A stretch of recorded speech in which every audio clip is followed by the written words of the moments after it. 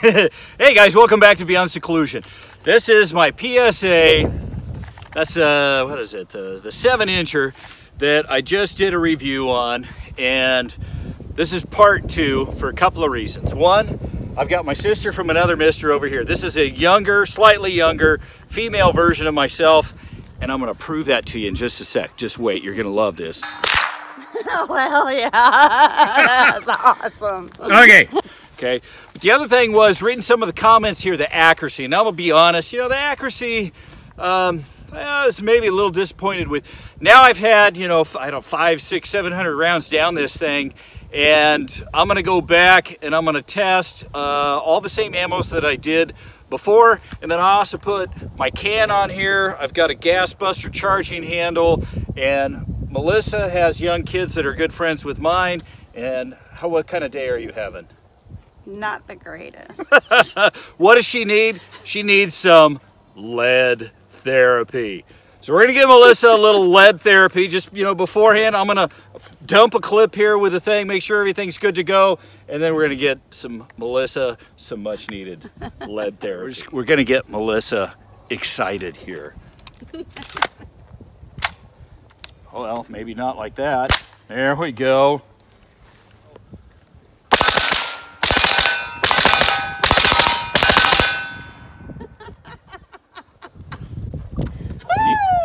Back up background? Oh, light primer strike.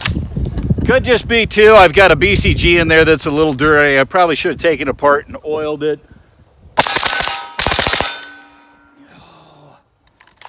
Nope, no, one more light primer strike. All right, bolt's not holding open. Okay.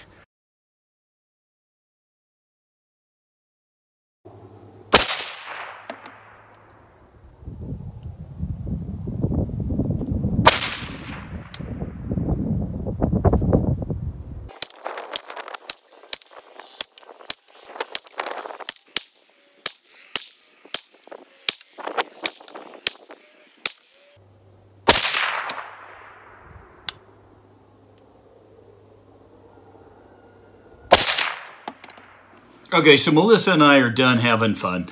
Was outside, did some accuracy tests. You know, here's one with just the Federal Full Metal Jacket range ammo. You know, and that really hadn't changed a whole lot from when I got started. And I wanted to do this again because some of the comments were, um, you know, re regarding the accuracy, and I'll admit the accuracy wasn't the best, but now that I've got a bunch through it, we had good luck with this last time, and that's that's a pretty decent group, guys. Um, you know, not bad. Then we go to some Hornady Frontier. Uh, yeah, that's kind of about like last time, not the best. So we go to some Hornady Match. Uh, still palm size. Mm, still not impressive. So thinking, hmm, PPU. Do not underestimate PPU. There you go. That's a nice group.